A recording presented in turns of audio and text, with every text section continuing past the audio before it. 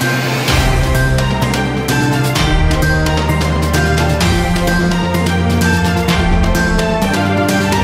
सिंगरौली ज़िले के नए पुलिस अधीक्षक वीरेंद्र सिंह ने ज़िले के सभी पुलिस अधिकारियों के साथ पहली ही मीटिंग में कानून व्यवस्था एवं कोरोना वायरस को लेकर लागू लॉकडाउन के बीच क्षेत्र में आपराधिक गतिविधि रोकने के निर्देश पर नवानगर पुलिस ने थाना क्षेत्र के करीब दो दर्जन निगरानी गुंडे बदमाशों की क्लास लेते हुए उनकी एक एक गतिविधियों की जानकारी ली।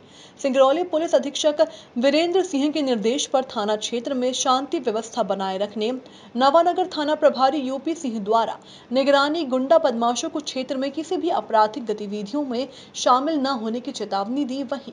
उनके नए पुराने रिकॉर्ड दुरुस्त किए गए। साथ ही नामी गुंडा बदमाशों की परेड में थाना प्रभारी ने मौजूद लोगों को अपनी आदत में सुधार लाने एवं किसी भी तरह की शिकायत नहीं आने पर उन्हें गुंडा लिस्ट से बाहर करने के लिए जिला प्रशासन से निवेदन करने का सभी को आश्वासन दिया।